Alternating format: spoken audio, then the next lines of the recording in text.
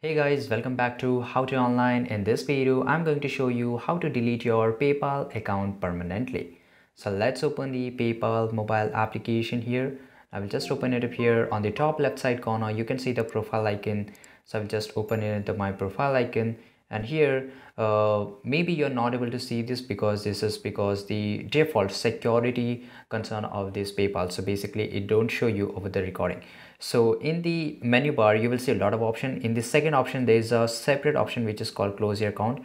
And if I just click on close your account here you can see that it will load for a few seconds so you have to just wait here okay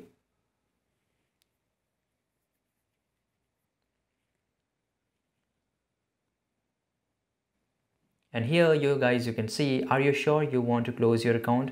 If there anything we can help you with you please contact us. If you want to do it you can do it. And here it says that if you'd like you could ask us to delete your data before closing the account. You can do it. You can ask them to close your data. You have to just click on this link and it will redirect to your new page. And here i've just click on close account. And you have to just wait for a few seconds because it will load for once again right